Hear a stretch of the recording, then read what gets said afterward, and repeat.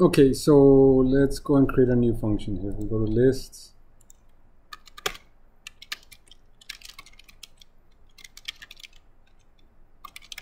List as return values, right? So let's look at that one too. Um, I can just work with this. Okay, so we'll do this. We'll do the same piece here. Well, I did right. So return. Uh, list one. Okay, so let's go and create a test case. We're gonna we're gonna see how it behaves like we did for uh, just using it as a parameter, but now we are using it as a parameter and returning it, right? So we're like, uh, what happens in memory with uh, that use case? So let's go here, list return value.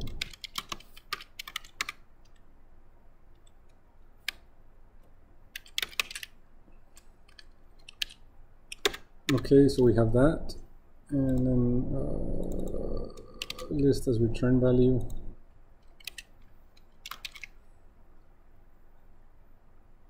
Uh, quick fix and tell it to import for us. Now it knows what we're talking about. And we pass the list. But then uh, we'll create a new variable return list, right? Because this list as return value returns a list for us. And what we want to do is we want to create an assertion. We want to compare list one to the return list first, right? That's like the first thing we want to do, like. And uh, what do y'all think? Is it going to be like the same list or not the same list? So if it's the same list, then it's true.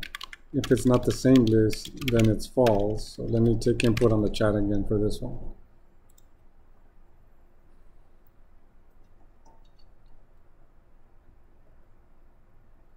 Okay, false.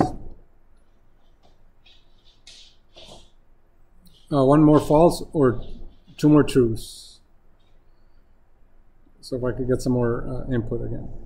Input for what? Like, does this example here, uh, is list one the same list as return list? That's what we're trying to decide.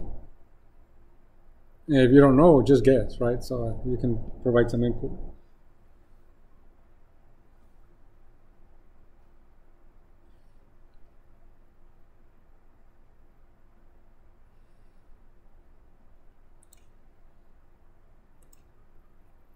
Okay, so two false. Okay, so now we can we can say okay, false. Right.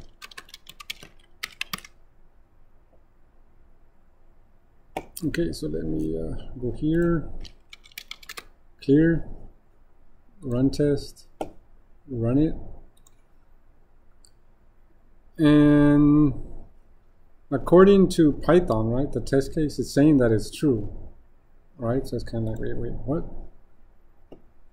So we're like okay so so they're the same list and then we're like well what does that mean? Can we say that element 0 equals to let me, let me do this uh, what's the value? 100 right? So 100 and then I'll create another assertion and I'll say return list element 0 is also equal to 100 and then finally that's so we can get a visual of what's happening. And then here we'll say element 0 element 0 right? So we're like you mean this is a case of two variables pointing to the same list Right, so that's what we want to find out. So we're like, uh, okay, let's clear. Run test. Run. And again, we always want to dot ourselves, right? So list as return value. So we go here, and it's right here, list as return value. It says it's okay.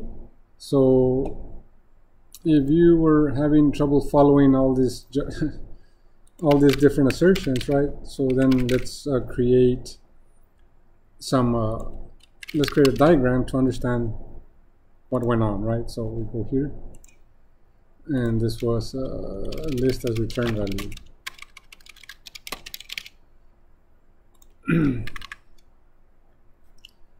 so let me first uh, create, copy this code here.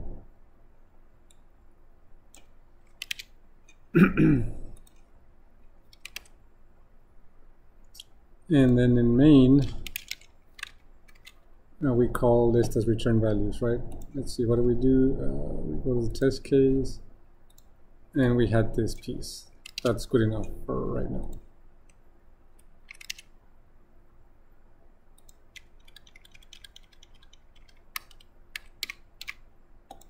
Okay, so what's happening here?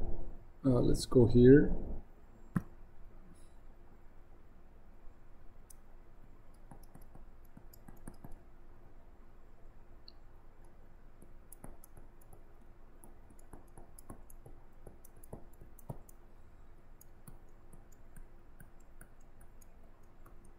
So we'll eventually like do some creative stuff with lists, but it's also important to understand how they work uh, in memory and with functions. Because if uh, you're working with lists in the future, right, then you're like, oh, I know, I know what what's happening. So main gets loaded, list one, and then of course these are made up numbers here. Assuming we got the same address block 5310, 108, 1112. So that means this one is Y104. Then we have a, a new variable return list. So we create return list. It doesn't have any values yet. It's going to get the value that is returned from list as return values. So when this runs, it gets its own memory block. And it has list one. List one. So what's happening is this is Y104, right? We know that but this value here once we change the value to 100 right we're like hey change the value to 100 so that value is changed to 100 this points to that this also points to that that's when we change the value we went through this example earlier right where two variables are pointing to the same list and this statement here is able to modify the original list. So we know that, but we're curious and interested in what happens to return list, right? So we are returning list one, but in that case, we're not returning the whole list. What we are returning is Y104, right? So again, what happens when list as return values finishes executing? Well, it's return, it's removed from memory, but before it's removed from memory,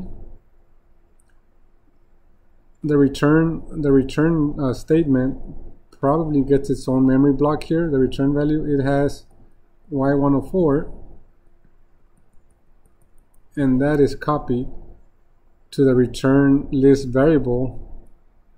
That variable right there. So then this one is y104 this is removed from memory, meaning this is no longer pointing there because, well, that variable doesn't exist anymore. But now we have two variables referencing the same list. So that's when we were doing all those comparisons in the test case. Uh, the values, the lists were the same and the elements were the same because we were uh, pointing to the same list. Questions here?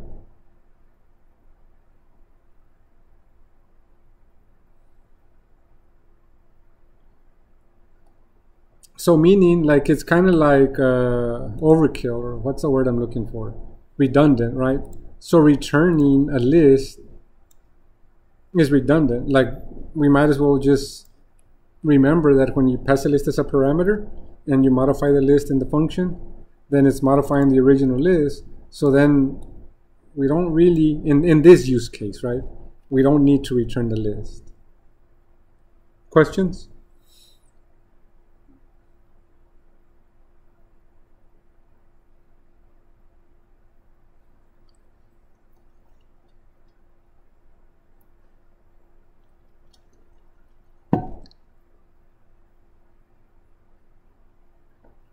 Okay, so uh, Uh, don't know what I did. Uh, let me go back to my code space. I'll commit those changes. And I'll ask one, one more time. Any questions?